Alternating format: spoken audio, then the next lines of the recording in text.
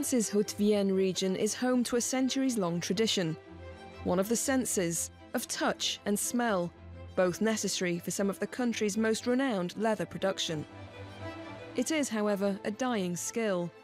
The banks of the river Vincou are home to the Gal Tannery, the only one still operating here today. Former actress Nathalie Gal's been running the business for three years after her father handed her the reins. The tannery is France's last to work with cowhides, submerging them in pits of oak bark for the process, which lasts several months. Over time, a biochemical reaction causes the hide to rot without having to add the chromium used in other tanneries.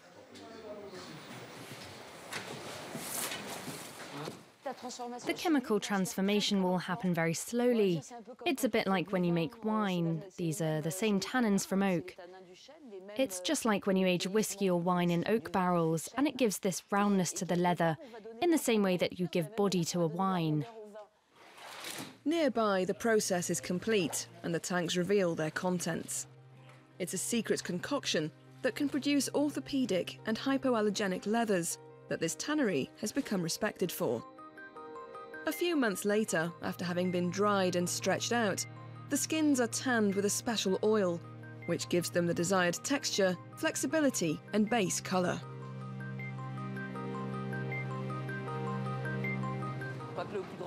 The biggest secret is our craftsman's know how. Not to mention the water from the Vincou River, which has exceptional qualities. That's the water we use to make our products. But there are also some real manufacturing secrets that I'm not going to reveal. These stiff leathers made the tannery famous for its horse tack, especially the very strong belts that connect the saddle to the stirrups. And nothing leaves the building until it's been thoroughly tested. It has to be strong enough to take at least 100 kilograms and not break. We've got these weights, and if the leather passes the test, we won't have any customer returns or problems. Rustic, but effective. It's up to 80 kilograms. It looks like there's a problem with this one, so we'll have to examine it to see what's wrong.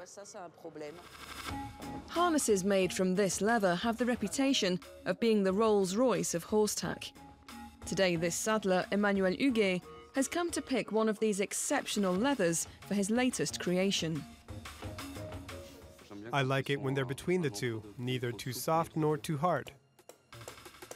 Once hand-picked by Emmanuel, the leather goes to National Stud Farm and Horse Racing Association, Pompadour. It was here four years ago that Emmanuel decided to set up shop as a saddle maker.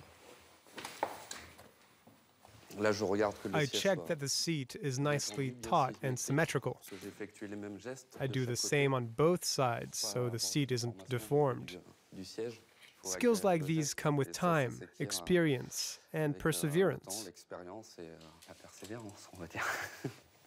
Emmanuel's Swedish wife Isabel works by his side. She too has got to grips with the skills of this craft. I've always loved horses. I do a lot of riding. We're lucky enough to be able to do something we love. Not everyone can say that they earn a living doing that.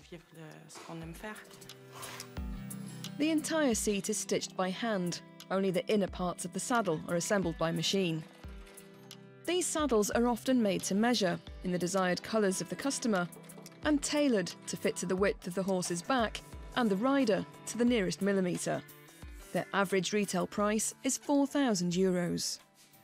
I'm just checking that each part is in the right place and that the symmetry is correct. This one's good. How long can a saddle last? It depends on how they're maintained. There are people who look after their saddles well, and it can last a lifetime. But there are a lot of people who maybe don't use the right cleaning products or oil them too much.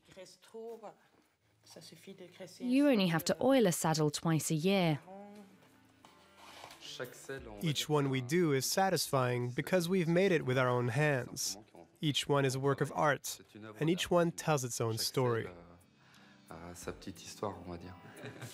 A work of art that oozes the reassuring scent of quality leather A unique object that delights its owners, but also the craftsmen when it comes to the big test, the final fitting.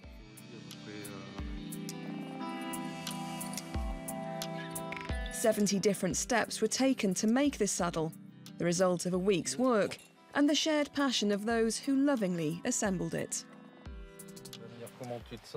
Oh, how your legs feel. We can iron out any technical issues.